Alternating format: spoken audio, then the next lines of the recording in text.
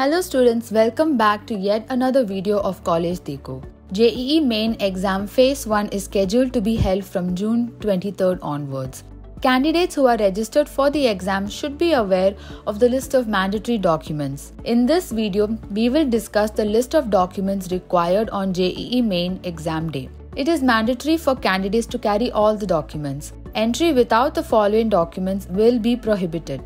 The list of documents are print copy of JEE main admit card 2022, self declaration or undertaking form, one passport size photograph, same as uploaded while filling the JEE main application form, any one of the authorized photo ID such as school identity card, PAN card, driving license, voter ID, passport, Aadhaar card with photograph, e-Aadhaar with photograph, ration card with photograph, class 12 board admit card with photograph, bank passbook with photograph.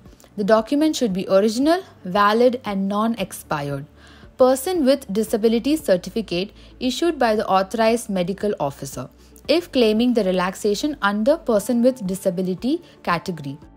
Along with above documents, candidate should also carry a simple transparent ballpoint pen for signature and rough work purposes.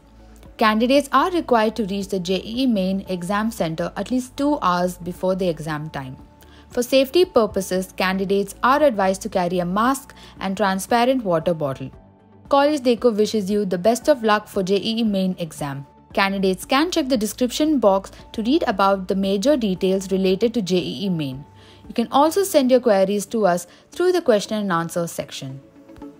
If you like this video, do like, share, comment and subscribe to our YouTube channel.